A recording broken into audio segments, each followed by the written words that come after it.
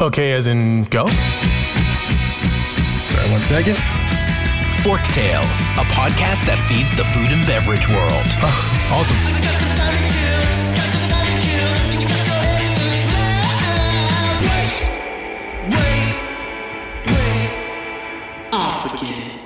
Fork Tales is brought to you by Vigor, a branding and marketing agency for passion driven, innovative restaurant, beverage, and hospitality brands.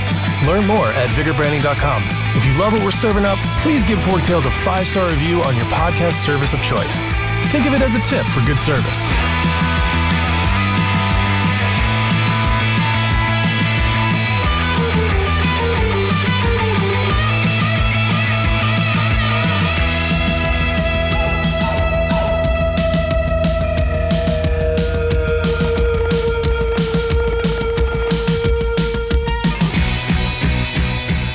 Hey everyone, today I am joined by Ricky Verman. He is the Chief Operating Officer of Peach State Hospitality Group, a client that uh, we at Vigor have been working with for a while on a number of projects, uh, who we adore. We collaborate really well um, and always looking forward to what's next. And uh, we brought him in today to talk about hotels, hospitality, and this spring back from the effects of the pandemic uh, and what's next. So, Ricky, say hello and give a little bit of backstory. Sure. Uh, first off, Joseph, thank you uh, so much for the warm, warm introduction, and uh, good to be here. Good to always uh, uh, chat. It seems like every time that you and I get together, we can always uh, geek out over all things hospitality and F and B and all the good stuff. So, definitely a natural conversation. yeah, a little bit about myself. my name is Ricky Raman. I have the pleasure of serving as the Chief Operating Officer for Peach Hospitality. we're a 35 year old firm uh, predominantly uh, in the select service and extended stay space. Uh, we've built hotels all across from two-story exterior corridors to you know major big box uh, hotels all across the southeast, and now our geographic footprint is growing. Um, Joseph, as you know, we've done some stuff in Texas, working on some stuff in California, um, in Charleston, this, that, and the other. So, um, yeah, good to be here and good to always have a conversation. Awesome. Yeah. So what has been some of the motivating beliefs at Peach State Hospitality, uh, the beliefs that drive growth, and, and how do you identify new opportunities? Sure. You know, sh- short of sounding, um, you know, kitschy, but you know, one of the things that we've you know really looked at is you know what's the company kind of driving for from a associate standpoint and offering standpoint, and where we would want to grow, and it all comes back to making it meaningful right? Investment by virtue or experience by virtue um, really has to have a meaningful taste for those that are creating the experience and those that are experiencing it. So, you know, at the company, delivering a meaningful experience is kind of something core to where do we want to build, right? Where, what markets we want to be, what kind of offering do we want to grow to. Um, and, and what drives us is this ability that hospitality uh, evolves every single day. And I think for us, you know having that ability to be able to be there as it evolves and as a part of the evolution is something um, fun and it's something exciting. It always kind of keeps us on our toes. So you know trying to figure out what's around the corner as the market shift as the consumer sentiment shifts as the technology shifts in our space trying to be ahead of the curve and trying to provide um, experiences for our employees for our staff and for our investors and our guests uh, is something that drives us you know each and every day That's great. So we're, you know, um, Peach State is is based in Warner Robins, Georgia, which isn't too far from Atlanta. Yep. Um, but a lot of your properties aren't in Georgia, like you mentioned. You're you're kind of expanding out across the nation. Um, what are the challenges from the operations standpoint uh, when dealing with that distance? Sure. Uh, you know, a, a, couple operational challenges, right? First and foremost is, you know, having a company where you have internal leadership growth it becomes a little bit tougher to grow your core leadership to other markets, right? It, it, that promote from within culture becomes a bit tougher for us to execute upon uh, because you're in a market where you don't have a footprint, you don't have a you know a, a long term foothold. So finding the right talent um, is is a challenge, but I think we've we've succeeded on that front. It takes a little bit t- a little bit more time, but um, you know we we've found that coming into a market and understanding our peers and understanding our our community in the hospitality space great talent always kind of you know happens to knock on our door so that's number one number two is um, kind of the geographic footprint right one of the things that we've learned even in the state of georgia that different different municipalities and different locales have different needs from an offering standpoint, have different rules and regulations from how to operate, what the operating procedures are. Um, so navigating that is always a challenge, but I think the more you do it, the more you get used to it.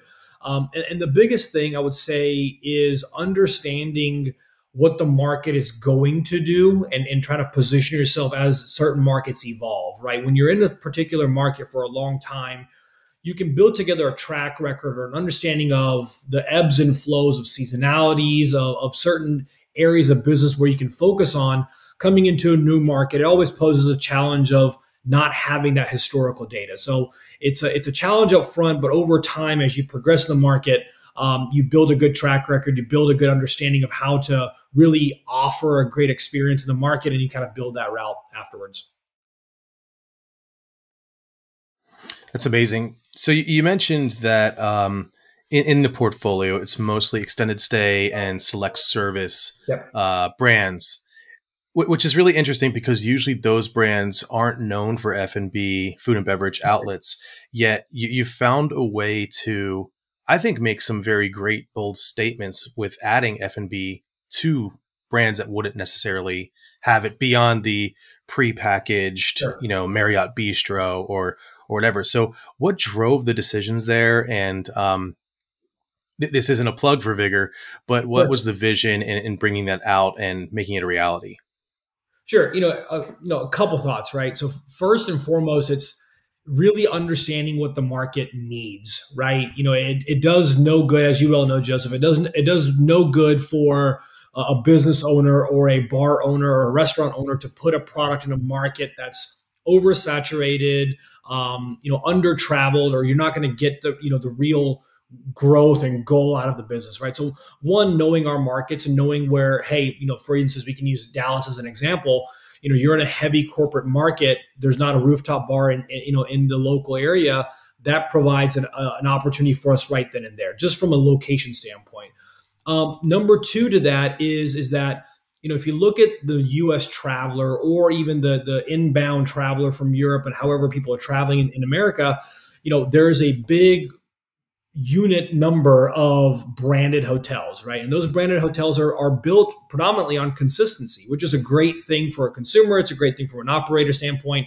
Um, you know, consistency in that product is always key, right? But having an ability to differentiate yourself, right? So having an ability to provide an offering in a market where it's needed, one, and two, where a guest walks into a historical hotel that wouldn't have this level of offering and say, oh, wow, you know, I'm getting something above and beyond what I would normally get at the normal other branded hotel, right? So that's that's always a core part of how do we going back to my earlier point of how do we elevate the experience from what we've already been given or what we've already been used to um, adds value obviously from a, from a financial standpoint but also adds value from an intrinsic local standpoint right one of the things as you guys know um, creating an offering where the locals like it and the locals want to be a part of it is very important versus just the guest, right? Because the guests are going to be there because they have to be at the hotel. But what what is the other offering that people from the area want to be around? So creating these spaces, creating these environments um, and, and you know, put it to put it bluntly too, you know, F and B, good F and B is fun, right? It's it's good. It's a good, fun environment to be in. It's a good, exciting thing to do. It's it's always fun to create experiences for guests where you know at a at a, at a courtyard by Marriott, you wouldn't expect a really nice rooftop bar with great sweeping views and a great brand and a great cocktail. Um, aside from what the brand already has prototypically, so it, it's always fun to be able to surprise and delight as well. Yeah, I think one of the, one of the problems that we've seen with hotels, well, pre-pandemic, uh, at least from the brand level, like the IHGs, the Marriotts, uh, like stellar F and B outlets were the big push. They they wanted to see um, owner ownership groups and, and, management groups create uh, world class experiences. Sure. But it seems very few and far between stateside specifically. In, in Europe, it's it's kind of com- not commonplace in a bad way, but you know that if you go to a restaurant and a hotel, it's going to be rock star. It's going to be great. Um, but like you said, here stateside, it's we, we almost fell in love with uniformity and consistency and you know the Marriott burger in DC or Bethesda area is going to be the same Marriott burger that you have in California. Good burger. And it's just right. It is a good burger, which is yeah, I, I, like. I love to like take some jabs at it, but I'll definitely eat it. Yeah. Um, you know, and and so it was definitely a pivotal shift to say stateside specifically. We need to start taking F and B much more seriously as ownership groups and, and hospitality management companies. But that uh, there's a there's an operational ask there where I think a lot more more often that is missed, and that is the bifurcation of this is the restaurant and bar and that's how this is operated. And then over here is the hotel and that's how this is operated. And cross pollination is really difficult to execute well. How have you tackled that challenge? Yeah so you know you, you kind of hit the nail on the head right? So execution in this space particularly as you're going from hotel to f&b or, or you know bnf experience experiential um, offerings execution is kind of the the biggest um, juggernaut, but it's also the biggest opportunity, right? So one of the things that is actually helpful, right? You can't. I guess for us, what's been really beneficial is having hotels that have an existing F and B outlet in there. I think gives you a, a learning curve already of how this you know union is going to work, right? So how a, a really well run and operating F and B outlet inside of a hotel um, you know, if you look at Courtyards or Hilton Garden Inns or the AC brand or the Moxy brand, you know, you have to figure out how that works for that brand already, right? So taking that and evolving that is always a natural step. It's always an easy step. And again, I think it also comes from historical talent, right? Like having people on our team who've been great restaurant managers, great bar managers, great openers of, of spaces. I think that's so, such a core part because you know there's something so consistent in the f&b world right? If you look at how the offerings change but the operations stay relatively the same right? A, a restaurant um, running at a high efficiency or a high turnover rate they're, they're some of the same things that you have, have to do consistently regardless of the product offering right? So that's one of the things that we figured out or we were aspiring to learn is what are the consistent things that every great restaurant or every great bar has to have that are non-negotiables and obviously you know clean comfortable service great food a great staff a great warm welcoming staff and making things easier for the consumer right? So so we started with the basics right? So let's let's get the basics of the ex- execution down pat and then we can figure out how to evolve and grow and become more market specific and more market um, receptive uh, but again, that execution part uh, takes trial and error, right? As you well know, there are a lot of instances where you know even ourselves we've experienced where um, it doesn't always go well, right? Uh, F and B and and that experiential amenity uh, is a tough um, thing to master over time, but you know trial and error and, and making those mistakes and understanding the consumer more and more makes the execution a lot easier. And i think it, it always comes to we tell our teams all the time you know it's you've got to understand the guest because if you don't understand the guest you can't offer what they're looking for. And, and regardless of what our offering is we can have the best brand the best food the best um, offering on our side we still have to make the consumer happy. And i think the execution side works backwards on that front yeah, yeah. You know, I would almost uh, imagine that because the basis of a great hotel experience is rooted in service. I know this sounds very silly, but like we're there to accommodate. These are accommodations. We're there to take care of you. We're there to make sure that your needs are not just met but exceeded. That that could easily bleed into an elevated um, restaurant experience, and, and yet there's still, I think, a stigma with restaurant that exist in hotels yeah. uh, from the standard American consumer. Um, how do you think we fight that? How do you think we start to change the minds of people? I mean, the obvious one is just make sure they're all amazing so people start to right. learn. Um, but how do we start to trigger that behavioral shift and that perceptual shift, in your opinion?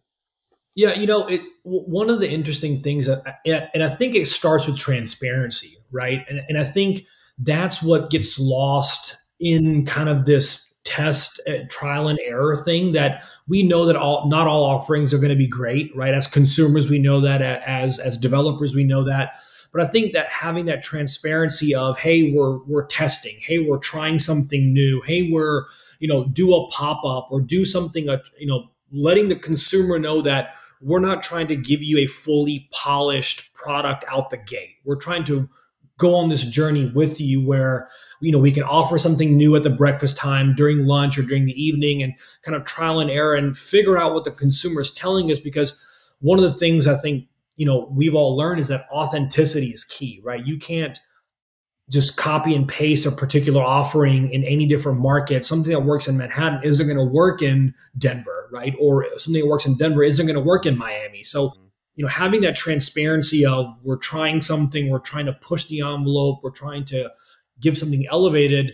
You know, I think consumers receive that well when they're told up front, hey, you know, this is something new, this is something exciting versus check out our pre-packaged perfect solution that's when you set up the, for disappointment, right? Because the expectations are so high. So again, you know, low expectations, over exceeding is always a, a, great, you know, perspective on that. And I think also it's it's making fans, right? It's, you know, so many business travelers, and as the business traveler or even leisure traveler segment has changed, you know, making fans of the new, making fans of the unseen, making fans of hey, I want to go to a hotel that has a separate bar or restaurant offering that I wouldn't get anywhere else and, and making people seek that out.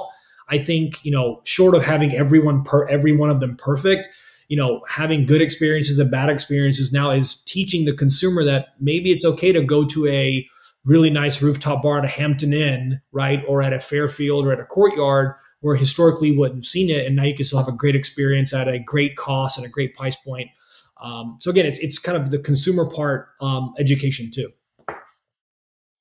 Yeah, it's it's funny you said uh, about New York brand not working in Denver uh, specifically because there is a New York brand that is working in Denver. Um, right. Not not to say that you're wrong. It, it's right. it's a, it's definitely an anomaly. Right. Um, but the, the Death and Co bar at the Ramble Hotel, mm-hmm. mm-hmm. absolutely remarkable. Um, if you haven't been there, I do suggest going. However, talking about um, I guess brand experience. I, stopped in. I was not staying at the Ramble, but I did stop in because I wanted to have a drink at the bar and just experience it. And it's a beautiful spot, very beautiful spot. And for those that don't know, um, we at Vigor curate uh, a blog called Grits and Grids, where we not only find um, branding and marketing and packaging and design projects from around the world specific to food and beverage and, and hospitality and share them and critique them and yada yada. Uh, we also will write what we call firsthand, which is okay, I was here this is what I saw, this is what I experienced, this from a brand, food, full experiential um, angle. And so I asked if I could take some photos of the space for that purpose to review it on our site. And the manager told me it was going to be $500 that I would have to pay him to take photos of their bar to promote it on our blog. And uh, I was like, right, so no, I'm right. not going to pay you for right. Right. taking photos of your bar. Um, it was just a very funny moment because you know the more I thought about it, it's like they must have a problem with influencers, right? You know, they must have an issue with people who aren't staying there, coming in, taking photos of themselves, right? And maybe I didn't do a good job of explaining it. Um, that I was taking photos of their bar to talk about their bar, right? Um, but that's an interesting phenomenon that happens, I think, with a lot of hotels that have an experience of that caliber. Have you experienced that? The whole influencer um, manipulation thing, I guess we'll call it. You know, it's it's um, interesting. So in Dallas, we didn't, but believe it or not, we're already getting some early chatter uh, in Charleston. Right? Obviously, you can imagine. I believe it. Charleston is a major market for for influencers, you know, in the fashion space, in the F and B space, in the you know makeup space, and in the experiential space. Um, big market for it, right? So we're already getting reached out to about you know ways to partner, ways to leverage, and that's always a tough um, go, right? It's always an interesting thing because one, we've never experienced that as a developer. We've never had someone say, "Hey, look, let me use your space to promote my product or your product." So that's a learning in and of itself, but it's also a thing where you know the age old thing of you don't know how it's going to go in the future, right? You could sign on with a particular person or, or, allow them to use your space, and then all of a sudden, you know, they get canceled, right? Or something happens, and all of a sudden, there's negative impacts for mm-hmm, us. Mm-hmm. You know, so there's all these things that we have to kind of think through, but um, it, it's such an interesting conundrum how how to manage that relationship with with the influencers, right? Because on one hand, you want to get the word out, right? But on the other hand, you want to keep it authentic, you want to keep it real, you want to keep it uh, less curated, right? You want people to kind of happen happen to you know step into it. um, so it, it's going to be an interesting journey. You know, we're still trying to figure it out. You know, we're trying to understand uh, the goals of influencers too, because everyone kind of has their different thing. Um, but again, we, you know, it's our first go, and i am happy to report back once we open and see how it goes. Yeah, I'd love to, I'd love to figure out um, the nuances of it because uh, you know we, we've heard horror, horror stories. I believe it yeah. was in uh, uh, North England or or Scotland where this the owner of the inn just basically on social media called out this influencer for trying to just get free stay, free accommodations, free amenities. Right uh, everything for free. So she could go there and take some photos and then put it on her Instagram. And, and, and he just, he, I think he was right in this one. He's like, if I did this, I wouldn't be open like uh, for everyone that reaches out. Um, so there's got to be some sort of middle ground, but then there's also that little, uh, uh, whatever you want to call it, the little Jiminy Cricket that's sort of like, yeah, but they will be promoting the spot, So, may, you know, and, and if we don't do it, you know, the competitor down the street's going to do it. So yeah. maybe entertain the idea, but I think they need to learn to like, I think come to a middle ground where, yeah. Hey, maybe it's a discount based on the number of subscribers or followers you have. And yeah. I, I don't know. I think it's still uncharted territory, but I think what, what I've also seen is that the major influencers are actually losing their traction because of that authenticity that you mentioned. It's like, yeah, we know that Jane or John, you're running around and you're only going to places that are offering you free stuff. So do we really trust your word here? Right. You know, and uh, so that's an interesting phenomenon that's developing as we speak. Um, all of this on top of, God forbid I say the P word again. It's like I'm saying it more in 2021 than I did in 2020. Obviously, hotels were hit extremely hard by the pandemic. No travel, uh, the accommodations, all the amenities shut down. And I know that everyone's talking about labor uh, shortages in restaurants, but hotels, it's compounded. So, oh, yeah.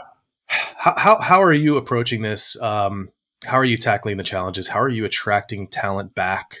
And yeah, uh, yeah let's let's dig into that big one. no, for sure, and, and, it's a it's a unfortunate it's a household conversation right now, and I, and I think it's just a sign of the times, right? But you know we're we're very confident in in just our ability over the long term or even midterm of you know patience gets rewarded in this time right and that's one of the things that we've kind of gone back to the drawing board of you know, it's not just us. You know, our, our brothers and sisters in the hospitality space, all across from F and B for quick service restaurants, or everywhere you go. You know, we've we realize it's not just us, right? So it, we're all in this together. Um, number one, number two, I think you know having upfront conversations with the talent of what the goals are, right? And it's that's one of the things that's more important now, more so than ever, of of identifying the job versus the career, right? identifying what are the goals of a particular employee or a particular candidate, and do we feel like we're the right fit for them as they want to grow in their careers and whatever their needs are, right? Because having that upfront conversation makes for a more meaningful employment, first off. And I think that's one of the things that as people are getting back into the workforce again or trying to figure out what, you know, 2.0 of their lives look like, um, you know, our thought is that let's be patient. Let's understand, you know, whatever comes our way is great because we, we, you can't really force it right now, right? You can't force a situation where there isn't that many um, applicants to begin with, right? You can't force a particular person who's underqualified or is excelling in a different mar- department to put them in this mar- department. It becomes a tougher challenge, right? So one of the things that you know we're testing out. It's obviously you know incentives all up and down the board. That's always a big thing for our you know hiring bonuses you know longevity bonuses. I'm sure everybody's doing that right? But it's, it's not just the dollars and cents. I think that understanding how people's lives have changed and what they need out of us as an employer um, helps us better position because look if you go on any exit or any market that we work on we know we have five competitors across the street. And not only are we competing on the hotel space we're competing for a labor pool from management all the way to hourly to where it's restaurants, it's bars, it's Amazon, it's Target, it's Walmart, any of these big box retailers, along with hotels, right? So our pool of people has grown, but also our ability to be competitive and ability to offer, um, you know, certain offerings is, is limited too, right? So um, one of the things that we've learned it's hospitality talent will always come to hospitality right? Those that are great and those that have it in the blood be a great bartender or a great server or a great front desk agent or great housekeeping agent um, will always come to the space right? So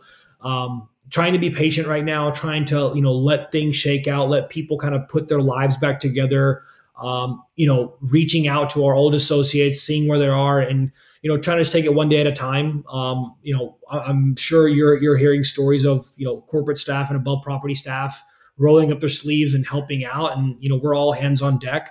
Um, we've got a great team, so you know when housekeeping's low, we're rolling up our sleeves. We're doing laundry. You know, we're we're mopping floors, cleaning the parking lot. So whatever it takes just to get us there. And you know, our industry, you know, you know too, Joseph, F and B is very resilient, right? We we we we take the dip, right? We take the dip hard, and we and we we we weather through. We we've made it through multiple economic cycles.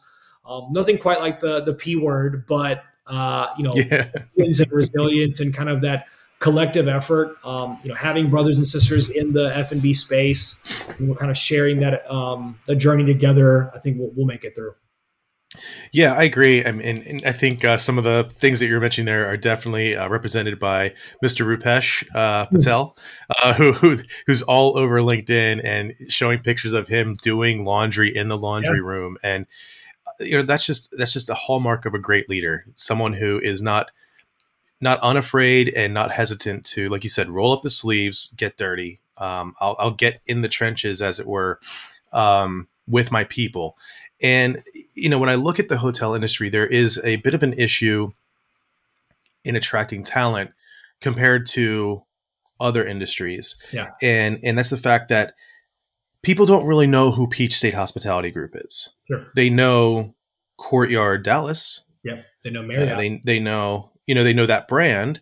Um, and so trying to attract folks to the channels that would help you talk about culture and sell the idea yeah. is is a bit more difficult, and it's akin to uh, franchise franchise companies. Um, you know, like a large group that uh, one of our other clients, Showstack, is what they're called, and they're in Michigan, and they own Applebee's, they own Del Tacos, and they own this brand called Olga's.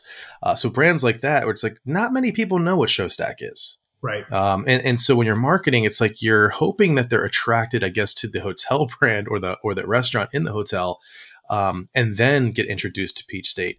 But that's a big barrier to overcome. Um, I don't have solutions for it on the on on this podcast, but it's it's definitely uh it's definitely bumpy. Like you know, when we go to market with looking for new talent, whether it's a copywriter, designer, account person, it's you're going to work for Vigor. Yeah. Like that. That's this is the company.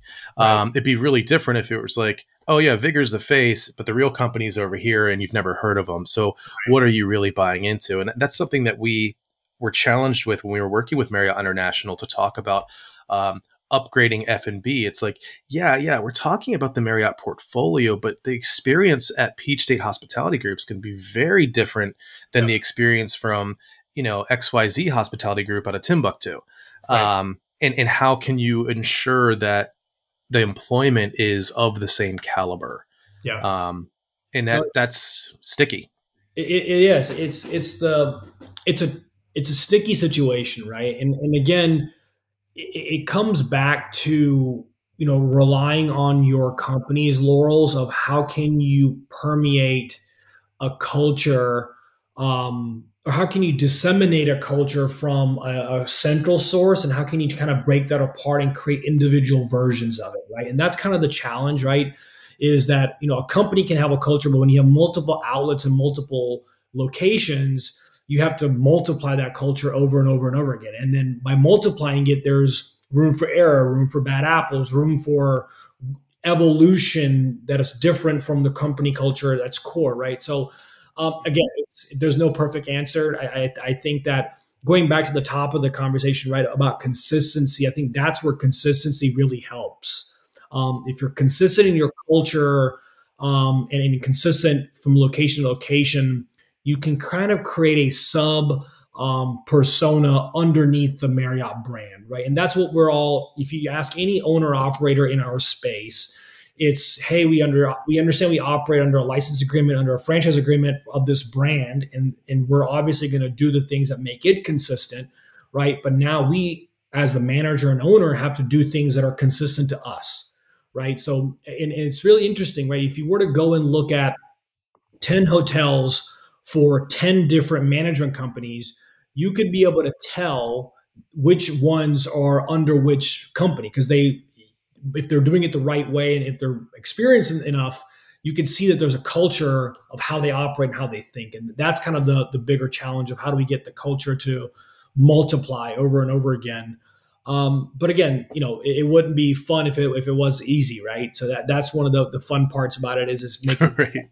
we can, uh, you know, have these conversations and, and it goes back to the talent, right? If you pick the right talent, they, they're a quick study. They can get, get, get to understanding what the end goals are quicker. And it all comes back to why, right? And that's one of the things in our business, I think, um, if I can say, kind of has fallen short a little bit of explaining the why up and down the scale, right? Why do we do what we do? Why do we offer what we offer? Why do we train the way we train? And if we start with the why and end with the why, how becomes so much more easier, right? The execution becomes exponentially easier if people truly understand on a half a page what we're doing, why we're doing it, and you know allowing them to use their experience to help guide how we're going to get there because every how is different right you you talk about that brand from new york to denver the the why is the same right i would imagine but how they're getting there from new york versus denver is where you rely on your people and i think that's the important part is just being really transparent of, of why we do what we do yeah, and, and, that makes a lot of sense. One of the things that I think a lot of um, company leaders miss the mark on when it comes to attracting labor and um, securing labor. I actually hate the word labor, so like team members, mm-hmm. uh, internal patrons, if we're going to use bigger terms, um, the, is that yes, money talks. Yes, benefits do help. Um, but there's one key that I think a lot of folks don't really tap into, and it's connecting the dots between the impact that you will have that's measurable and and noticeable as an employee of this company. So, yes, you're the manager, you're in charge of XYZ, here are your job responsibilities, here's your procedures. When you do this above and beyond, this happens and whatever that this is is uh, something spectacular. So they can feel that there's meaning behind and that's that's essentially the why playing out. So, here's why we do it, and then here's the impact. Here's how you will change every guest that walks through the door's life. You're, you're going to change their life. And yeah. um, I, I, think the the companies that do that, like you said, you, you know them. Um, yeah. So a couple last questions here, and then we'll, we'll land the plane. Um, what's on the horizon for Peach State? What's what's in the future here coming up? Uh, growth, growth, growth, growth. Right. Um, you know, we're we're in a position where we're very fortunate and very blessed to be able to have great partners, um, all up and down the stack. Right. We have a great team, great partners, and I think you know hospitality. You know, yes, 2020 was a bumpy road, but you know, having that bumpy road further just solidifies our um, intentions to be really purposeful and really focused, right? And you know, our business is a specialist business, right? You can't be half in, right? You have to be hundred percent in in order to even get to C level, right? In order to excel, you got to be hundred and ten percent in, right? So you know, we're doubling down on the space. We're, we're we're very confident in the hospitality space as it comes back and as it grows, um, and growing um, in different markets, right? You know, we, we our, our Dallas deal that we did, which you were you guys were a part of. Um, our Charleston deal, um, you know, we're doing a hotel in downtown Charleston, which you guys were a part of. We're excited about that. So, you know, our, our growth, um, we're focusing on markets where it's really fun to be, right? One of the things that you and I think I said a long time ago is that we want to put a hotel everywhere I want a vacation, right? And uh, that's that's our one of our overarching goals is everywhere we want to be, we want to have a hotel there, right? Um, but it's also going into markets where we feel like we can execute, right? We feel that our track records, um, good enough to kind of deal with the local challenges and there's an opportunity to create something fun create something exciting so you know we're growing from coast to coast we're trying to find new growing markets where it's fun to be and um, one of the cool things is that the us is kind of busting at the seams in certain markets right? You look at a lot of these pockets in america where that that city that's 15 minutes north of town is now growing and it's now creating its own community. It's out having a need for a great hotel offering or great f&b offering. Those are the places where we want to be where um, it, it, might not be the glitzy you know midtown and downtown in maine but it's a great experience where local people want to be and, and guests are traveling to. So uh, we're excited to kind of you know continue the model and continue growing as much as we can I love it. F- final question: uh, a final bite to eat and drink at one of the F and B outlets in your in in your portfolio. What are you eating? What are you drinking? Hmm. Final F and B. It could be passed. Uh, it could be passed. Okay. Well, you know my answer on that one. So in a former hotel, we we had our uh, old fashioned that we did with the toasted pecans, which was unbelievable. So that'll be one of the one of the final drinks, and then final final bite. Uh, anything savory. If it's on the menu and it's savory, I think that's the final bite. I'm a big fan of trying bars fries. I think that it's a great telltale story of you know it's a simple situation. You take them out, you fry them, you serve them up, but uh, you can tell a lot about a space and the attention to detail on a simple fry because a lot of guests even for me, you're, you're, not looking for a whole lot of uh, food, but you're looking for enough to kind of you know quench the palate. So um, any any level of fries for any of our hotels. I love it. Yeah, fry, uh, fries are the indicator. I um, yeah. famously had intense discussions uh, with a, a, restaurant we were working on back in 2011. Um, it, just for the record, when I say intense discussions, it's is with a gentleman from two gentlemen from Israel. So you know that right. the intentions get very, very intense. Very passionate, right, right. very passionate, very intense. If yeah. you don't know, people may think that you're yelling at each other, but you're not. And I, I was team Yukon Gold potato mm. French fries, and I, mm-hmm. and it was one of those. I will die on that hill. I right. will I will have that battle and I will perish if I have to because it was that important. Right. And they finally you know bought in and it, it, was worth it. They got so many great reviews on their yukon gold potato fries. Yeah well you know it's interesting right not to take too much of your time but you know it's interesting how there's the fry right but behind the fry there's so much more right? Which potato how are you going to fry how are you going to season it? And i feel like that's the differentiator of a great spot right? Whether it's whether it's fries or any other food right? There's there's the textbook items that you're going to get right from a from a naming standpoint but there lies the opportunity too, right? Of like, for instance, you pick the Yukon Gold potato, you have experience, you know that without a shadow of a doubt, it's a great product, right? You can do whatever you want to, you're gonna have a great fry, right? So that so I think that's really important of understanding the the backstory behind anything that's on the menu. Um, and anything from a service level too. I think it's really important of understanding the backstory on it. So can can the viewers, listeners, and fans of Forktales expect a new podcast from Ricky Raman called Behind the Fry? Absolutely. That's a, I mean, you heard it here first, right? That's right. Joseph and I are going to do a, a, nationwide tour where we're interviewing, interviewing all fry makers. Yeah. Yeah. And then our second tour will be uh, on a treadmill trying to get rid of all the meat that we ate. Um, well, Ricky, thank you so much for your time and insights. Uh, this has been brilliant. Where can people find Peach State and how can they connect with you? Uh, Peach State, uh, you can find us on our website at pshga.com. We're on LinkedIn at Peach State Hospitality. You can find, uh, you know, us. We're communicating and participating in all, um, you know, the conferences. Um, but again, you know, we're only a phone call away. We're only an email away. Uh, the best way to connect with us is obviously via our social media channels. Um, and, and, again, uh, you know, thank you, Joseph, and thank you to the Vigor team. You guys are doing outstanding work. Uh, it's always a, a breath of fresh air to work with you guys. So great to have this conversation. Ah, thank you. Honored and humbled. Uh, thanks for your time, and we'll, we'll talk real soon. Sure. If you love what we've served up, please follow us at Vigor Branding on Instagram, LinkedIn, YouTube, and Medium. Forktales is produced by the team at Vigor. Audio and video post productions provided by Zencastr.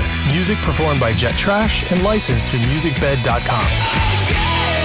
Joseph handles his own hair, makeup, and stunts. Copyright 2003 to 2021, Vigor Graphic Design LLC, all rights reserved.